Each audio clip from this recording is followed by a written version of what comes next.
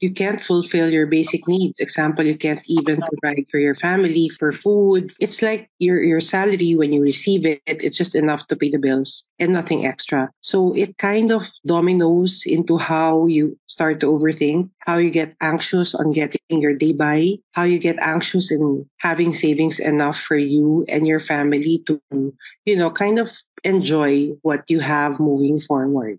So it's a huge component in the whole well being of an individual.